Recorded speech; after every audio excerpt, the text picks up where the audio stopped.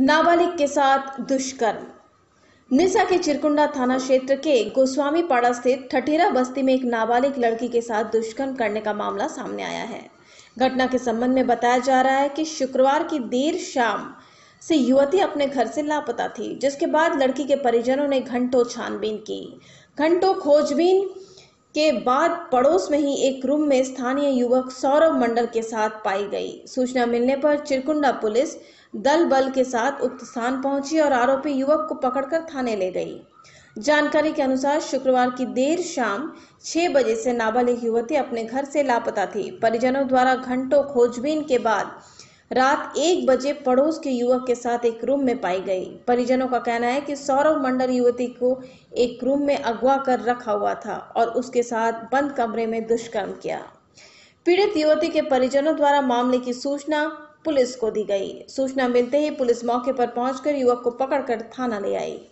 वहीं मिली जानकारी के अनुसार मौके पर आरोपी युवक सौरभ मंडल के साथ तीन दोस्तों ने भी उसका साथ दिया, जो कमरे में के बाहर पहरेदारी कर रहे थे।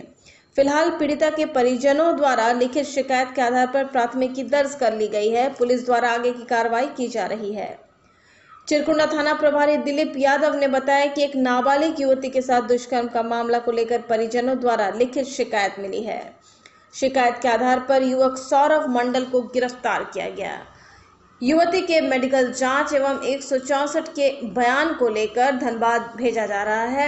आगे की कानूनी प्रक्रिया पूरी की जा रही इसी के साथ ठठेरा मोहल्ला में दुष्कर्म किया गया है और जो आरोपित है सौरभ कुमार मंडल। सौरभ कुमार मंडल वो पकड़ा गया है और लड़की जो है नाबालिग का 164 के बयान के लिए न्यायालय में दर्ज कराने के लिए भेजा जा रहा है। उसका मेडिकल जाँच के लिए सदर अस्पताल धनबाद भेजा जा रहा है और जो आरोपित है उसको गिरफ़्तार कर हिरासत में लेकर उसे न्यायिक अभिरक्षा हेतु न्यायालय में भेजा जा रहा है। सर ये भी बात सुनील बाबू को किसी ने कभी हाँ बोलते नहीं सुना। मुँह छोटी कर दूँ? नहीं नहीं नहीं। ना।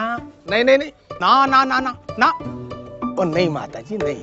बाबूजी मेरी साइकिल नहीं। फिर एक दिन आई आशा दीदी लिए हाथी पाँव की दवा। हाँ ज़रूर। अभी इसी वक्त। अरे हाथी पाँव की दवा लाई है। हाँ तो बोलूँगा ही। सरकारी स्वास्थ्य कर्मी की सुनिए और इनके सामने ही परिवार के सब लोग खाइए हाथी पाँव की दवा। इस साल में बस एक ही बार तो खाना है। साल की बस एक खुराक हाथी पाँव होगा साफ़। तो क्या समझे? दवा को बोलो हाँ और हाथी पाँव को ना।